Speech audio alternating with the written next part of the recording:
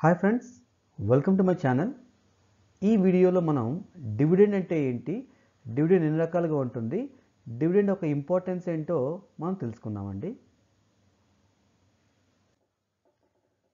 Joint stock companies వాటి యొక్క మూలధనాన్ని ఈక్విటీ షేర్స్ లేదా ప్రిఫరెన్స్ షేర్స్ లేదా డిబెంచర్స్ లేకపోతే దీర్ఘకాలిక రుణాల రూపంలో భర్తీ చేసుకుంటారు. డిబెంచర్స్ కానివ్వండి రుణాలకు కానీ వాళ్ళు ఇంట్రెస్ట్ పే చేయడం జరుగుతుందన్నమాట.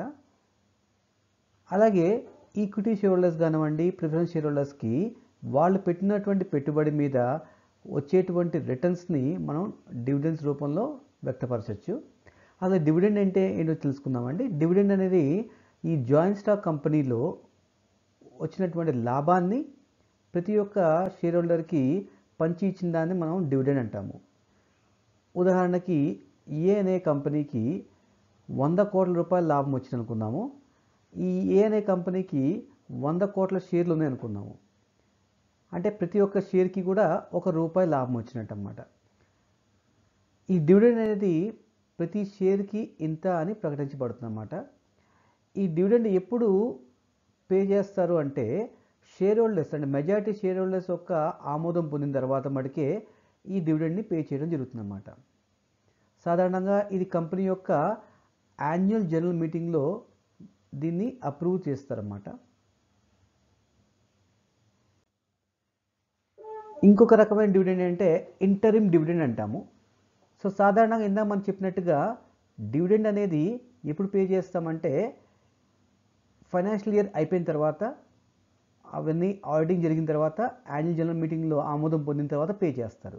కానీ కొన్ని సందర్భాల్లో ఏమవుతుందంటే కంపెనీ ఎక్కువ లాభాలు ఆర్జించినప్పుడు ఈ యాన్యువల్ జనరల్ మీటింగ్ అవ్వక మునిపే వాళ్ళు డివిడెండ్ పే చేయడం జరుగుతుందన్నమాట. దీన్ని మనం ఇంటరిమ్ డివిడెండ్ అంటాము. సో ఇంటరిమ్ డివిడెండ్ అంటే యాన్యువల్ జనరల్ మీటింగ్ కన్నా ముందు పే చేసింది కానివ్వండి రెండు ఫైనాన్షియల్ ఇయర్స్ రెండు ఆర్థిక సంవత్సరాల మధ్యలో పే చేసేదాన్ని కూడా మనం ఇంటరిమ్ డివిడెండ్ అంటాం అన్నమాట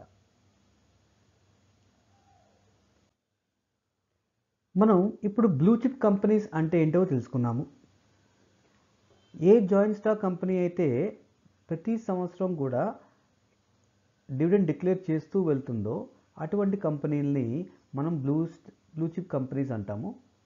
సో మార్కెట్లో ఇటువంటి కంపెనీస్ యొక్క షేర్లకి బాగా డిమాండ్ ఉంది. అంటే ఏ సంవత్సరం కూడా ఆపకుండా ప్రతి సంవత్సరము డివిడెండ్ డిక్లేర్ చేసేటువంటి కంపెనీస్కి సాధారణంగా డిమాండ్ ఎక్కువ ఉంటుంది కాబట్టి వీటి యొక్క షేర్ల యొక్క ధరలు కూడా మిగతా వాటితో పోల్చినట్టయితే కనుక ఎక్కువ ధరలే పలుకుతాయి మార్కెట్లో సో ఫ్రెండ్స్ మీకు డివిడెండ్స్ గురించి వివరాలు ఈ వీడియోలో పూర్తిగా అందింది అనుకుంటాము మీరు ఫైనాన్షియల్ మేనేజ్మెంట్ సంబంధించిన ఎటువంటి టాపిక్ మీద వీడియో కావాలి అనుకుంటే కనుక మాకు కామెంట్స్ రూపంలో తెలియపరచండి. మేము తదుపరి వీడియోస్ ఆ టాపిక్ మీద చేస్తామండి. Thank you for watching